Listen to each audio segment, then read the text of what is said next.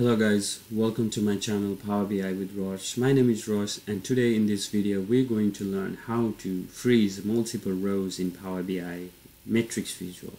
As you can see in my first visual, there are day, year and three which are three levels of rows, day, year and week. And if I scroll to the right, I can see in year 2021, uh, 2023, week 1 and Friday I had 8.3 uh, profit which is very convenient for a user to have be able to um, see uh, all levels in a single level instead of something like this where user have to go here okay 8.3 percent but what year was it? Uh, 2023 okay but what week was it?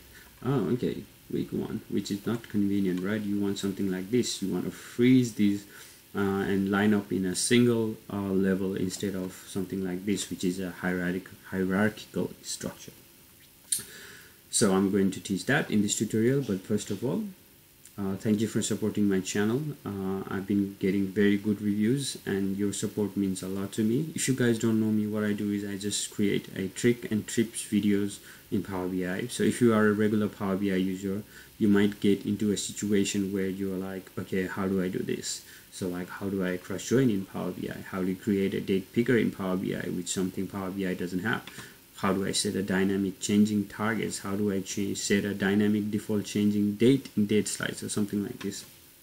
You'll run into these problems and I'm just here to like the more you use Power BI the more you run you will run into these problems because our users are very demanding and they want they want all kind of stuff. So I'm just trying to help you guys out. If you please love like my videos do subscribe to my channel um, and I'm very happy that uh, I'm happy to help okay? Anyway let's start this tutorial. So I'm gonna compare these two visuals. If you see over here rows and view values these two visuals have got exactly the same thing so you don't need to change anything here. You just need to add so if you only have day just add year and week the level of hierarchy whatever you want right the first thing I'm going to do is go to the formatting options. That's where you will go. And the only thing uh, we are interested in here is the row headers. Go over here. First thing, in the row, under the row headers, I'm going to uh, disable plus and minus icons. Turn that off. And it's gone because we don't want that. We're lining up it in a single uh, level, right? Like in the first visual. Next step, which is very important is we're going to drill down to the lowest level. If you guys don't know what a drill down is so you know we have a day we year and week. At the moment it's showing a level 1 so if I drill down to the next level it's going to show uh, the next level which is a year. And if I drill down to the next level it's going to show you the week which is our lowest level. And if you notice that this is now disabled because there's no this is the lowest point. This is the lowest level we have. We don't have anything further than that. So make sure this is disabled. If I go over here it's only going to sh show me um, two two levels. So make sure this is disabled. If I disable that uh, if you, this is disabled that means you have drilled down to your lowest level right? So after you do that make sure it's disabled go to the formatting options again row headers again and go to the options. And now turn that off which is the step layout. Step layout is that you can see there's it's like a stepped layout yeah? There's Friday and there's some indentation and there's year and there's some indentation there's next level so you just turn that off and voila.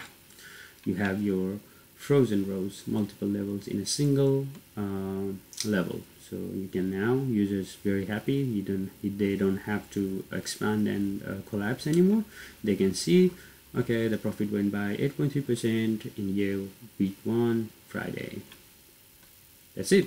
That's what I do. I create a very short videos tricks and tips which is very helpful. And I'm I, I hope it's very helpful. And uh, yeah if you like my videos just so like and please comment if you have any tricks that you want to learn. Do comment uh, I'll try to help you out guys. And uh, yep subscribe to my channel. Thanks for watching this video. And see you next time which is going to be very interesting because I'm going to teach more tricks in matrix visuals which is uh, some I, I'll show you now. But why not? Why not? So I'm going to show you how to rotate your matrix so if you get if you see over here there is a call there's row and there's uh, values and I just rotated it and now values are in the rows and all the rows are in the columns.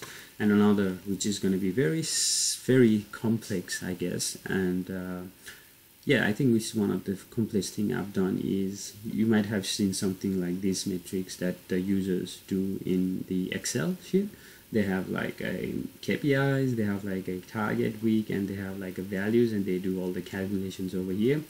I'm going to explore that. I'm going to create exact replica of this in matrix and yeah like it's, it's gonna be very cool videos coming up so please do subscribe to my channel and yeah thank you for watching. See you next time